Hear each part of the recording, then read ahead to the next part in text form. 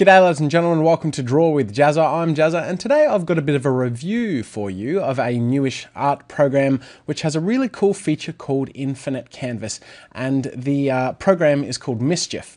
So you can check it out by going to madewithmischief.com, the link is in the description and uh, one of the reasons I'm sharing this with you is because first of all you can try it for free for 30 days as is common with many software, you know, things like Flash and Photoshop. Um, but the other reason I'm sharing it is because it's fairly affordable compared to Flash and Photoshop, which are uh, usually at least a hundred, uh, usually several hundred dollars. Um, whereas this program is a little more simple to understand and use, uh, and it's got that really cool infinite canvas feature. So I'm going to show you uh, what I mean by infinite, infinite canvas. This is a pre-made drawing I did, and you can see that I can zoom out and it is a picture inside a picture, pictureception, you might say. And uh, that is kind of fancy, but that's not all because from there I can zoom out even further to see another picture and then that inside another picture. So as you can see, this infinite canvas thing is pretty cool. Um, now I'm going to show you a quick speed paint of how I made that picture so you can see, you know, how simple it is to use while I give a quick review of the program. Now, if you've used programs like Photoshop and Flash before, uh, this has absolutely uh, no learning curve. It's really simple to use. The brushes are on the right. Uh, there are tools on the right. It's really easy to understand. Shortcuts uh, can be seen from uh, the menu up at the top. It's really, really simple. Now, there are limitations uh, in that it's not kind of as versatile as these programs. Flash is much more for multimedia and, and game design, things like that, dynamic multimedia content. And Photoshop is uh, a little bit more uh, dedicated to editing images and stuff. But as a concept art creator and just a creative tool and canvas for mucking around and, and really exploring creativity, I think that this is a really worthwhile program to check out. Now, stay tuned till the end of this video because I'm going to tell you how you can win a free version of this program.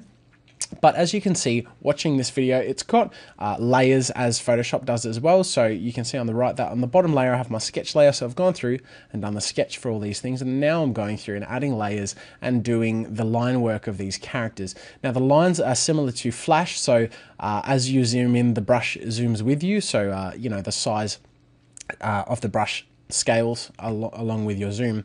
Uh, but in terms of keyboard shortcuts, it's really quite simple. Um, the vector tool is really uh, efficient as well. The lines are quite clean and there isn't any lag as far as I can tell. Now, as you might assume, this is quite a, a large sort of image because we've got, you know, four images inside of each other. Uh, and yet I didn't have any problems with the program going slow or anything like that. So uh, it feels like it's fairly well optimized. Now, in terms of there being limits with brushes or optimization or things like that, um, I'm feeling like as the program is quite young, things will be brought out, updates will come, and you know that as the company grows, they will be able to invest more in the product. But that is my review of Mischief. I think it's really great. I think you should check it out. Now, if you're interested in winning a free version of the of the software, which is uh, it retails at sixty dollars USD, um, now I'm just going to put out a bit of a challenge for you guys, and you can enter it or you can not. But basically, the challenge is to download the free trial from MadeWithMischief.com, link in the description, and to create something and make something really creative. It doesn't necessarily mean you have to have the best art skills in the world, but use the infinite canvas in a way uh, that shows off how it's pretty cool. You know, just explore it a bit and uh, and upload it as a video to YouTube as a uh, response to this video. So uh, I want to see you guys get creative. Again, um, it's a chance to win $60 of software for free, and I believe that uh, they said that they would like to feature some of the entrants on their social media and things like that. So if you want a bit of an attention sort of outlet for your artwork and also a chance to win some great free software, make sure to uh, enter this little challenge. I will give you a deadline. I'm going to say a month from now,